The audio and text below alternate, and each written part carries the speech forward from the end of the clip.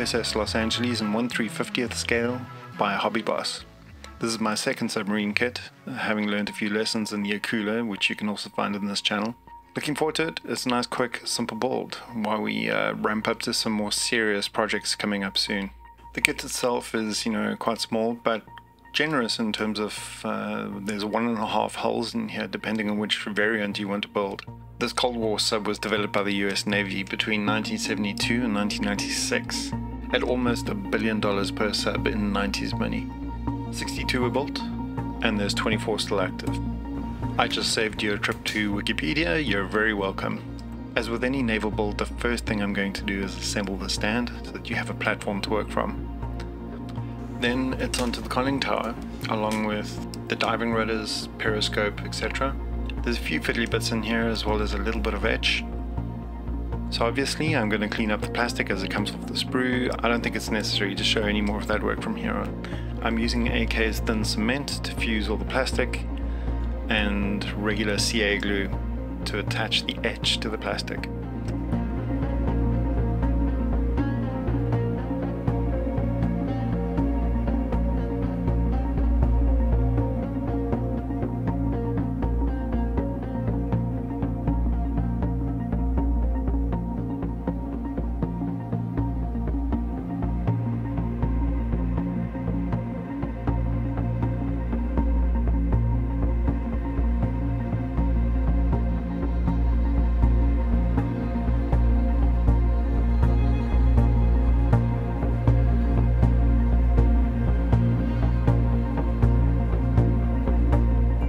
Conning tiles fiddly bits done, I'm going to cement the hull, sand it down a bit, and of course attach the conning tower. The reason I'm sanding is the plastic has a bit of an orange peel texture to it, so I just want to smooth that down because it betrays the scale somewhat.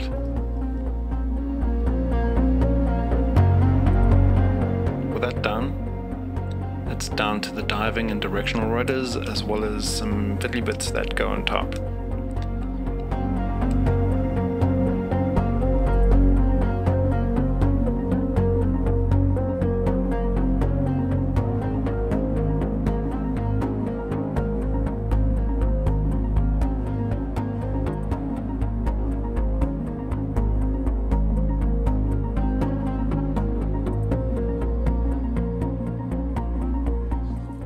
Weirdly, the top directional rudder doesn't fit in the existing hole in the hull, so I had to give it a little bit of help with my Dremel. Other than that, everything seems to fit together pretty well.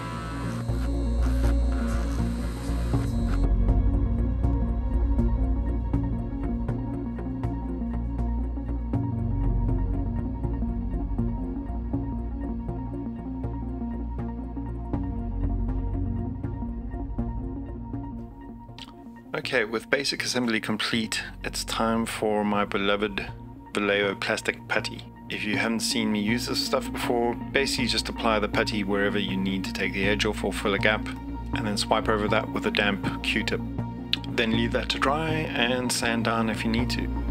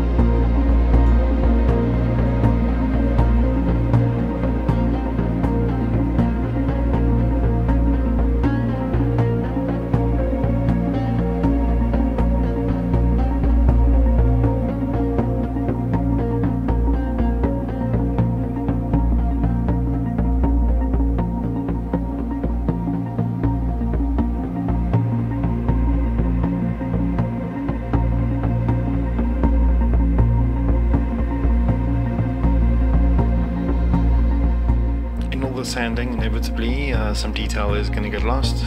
Uh, so I'm scoring a few hull lines back onto the plastic very carefully. Less is more, definitely, especially at this scale.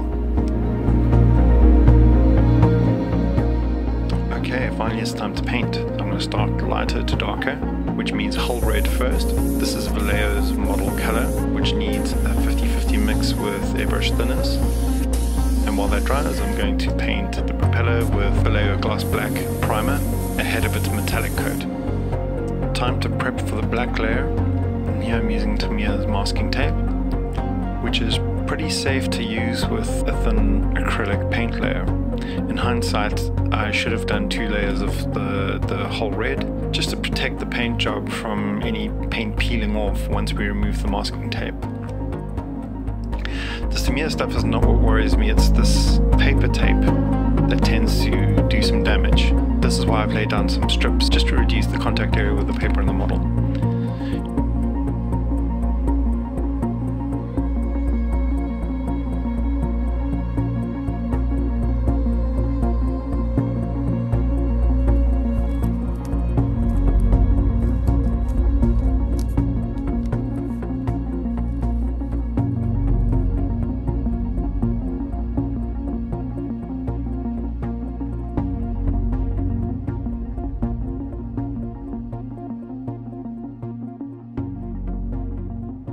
We're going to spray some Modeling matte black.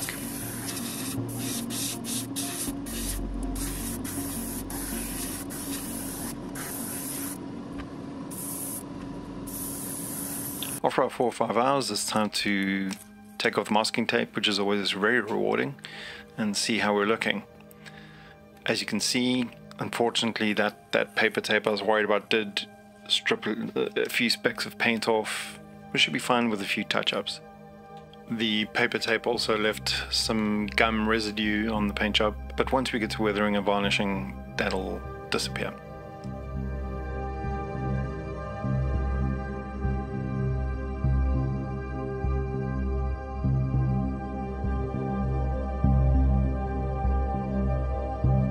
So, after a few touch-ups, while that dries, I'm going to uh, finish painting the stand and then I'm going to seal in the paint job with a gloss varnish, which is hidden behind this terrible camera work. The gloss varnish is of course in preparation for our decals. Once again I'm using Vallejo's Decal Fix and Softener. It's a slightly different uh, routine from some of the competing products. Apply Fix to where decals are going to be on the model and let that dry for a few minutes. Then just before you apply the decal, activate it with some water. The fix acts as an adhesive as well as a very gentle softening agent to my understanding.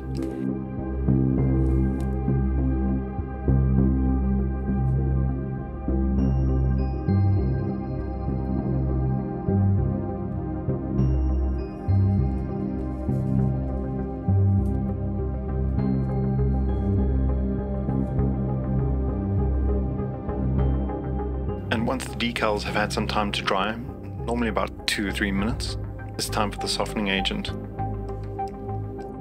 You may have seen me use this in some of my other builds, but basically what you want to do is apply a film over the over the dry decal. The stuff is going to soften quite aggressively, and but it does form a thin film layer around the decal. So what you want to do is then after it's applied, take a damp brush and dissolve the edge of that film basically the boundary of your layer of softening agent and this will help integrate it. After about 10 or 20 minutes you'll see the, the decals um, should be soft and aligned to um, your model quite nicely. It's really pretty good stuff compared to what I've seen from other manufacturers. Anyway, it's time for a wash. So here I'm using Vallejo's uh, white model wash. I'm basically just going to paint it on quite loosey-goosey let it flow into all the crevices and dry for about five minutes.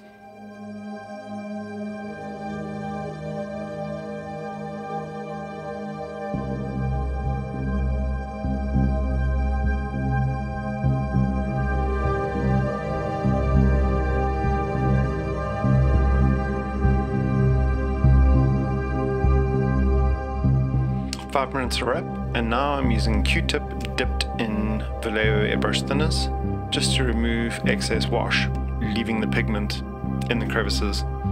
But also, it's okay to, uh, to make a little bit of a mess with this stuff. All the kind of residue and salt and ice that would, would settle into the deck of a submarine would look pretty organic and natural, much like what this finish is going to give you.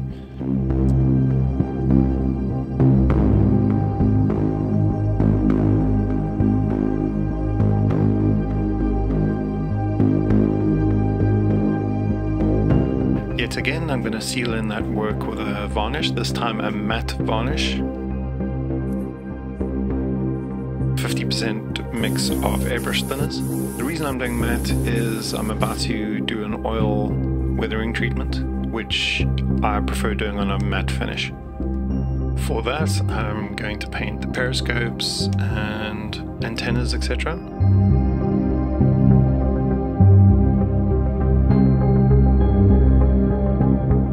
some odorless thinners on a panel and using uh, Abteilung oils I'm gonna dab color on and then use a separate clean brush to blend that color in. So what follows is a time lapse of the full weathering process with oils in case someone finds that of any value. I'm going to use the time to tell you and describe what's coming up straight after, which I'll hope you stick around for because I think it's quite interesting. My day job is a visual effects artist in the film industry, and I'm using this channel as an opportunity to bring my two skill sets together. So, what I've done is filmed the finished model on a green screen and integrated that into a CGI ocean scene, which is something I just happen to be learning about at the at the moment. It's far from perfect, but it's fun and pretty interesting, and I hope you'll stick around to have a look. Also, if you're interested, uh, feel free to check out my Patreon where I'm going to have 3D files available, as such as the nameplate are designed and printed in the final shot. I'm creating similar nameplates for all my naval models, and of course they'll be available too. I'm also making all the instructions for every kit I build available there, including some colorized ones whenever there's a, a complex paint scheme that needs consideration and planning. Lastly, I'll also be putting tutorials up on my Patreon as I work through these projects, such as um, realistic dioramas, wiring LEDs together to bring these fun projects to life.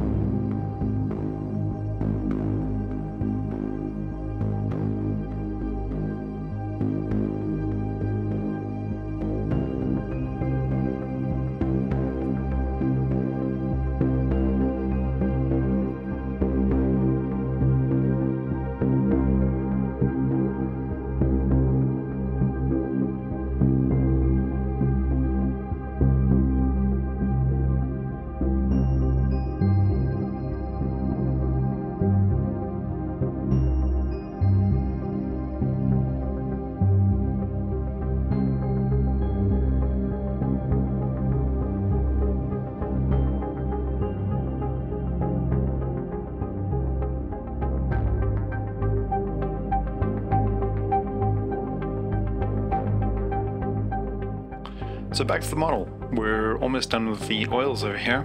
Lastly, I'm going to seal in all this work with a matte varnish coat. I tried Vallejo's matte first, wasn't thrilled with it. I needed something even more dull, that, and that's when I discovered Tamiya's flat clear aerosol, which is extremely dull and perfect for a submarine. I have though since discovered that Vallejo does have an ultra matte varnish, which I will be testing in future. In any case, that's it for me today. I hope you enjoyed this. Thanks so much for sticking around till the end. Please like and subscribe, it helps the channel. I appreciate you all and see you soon.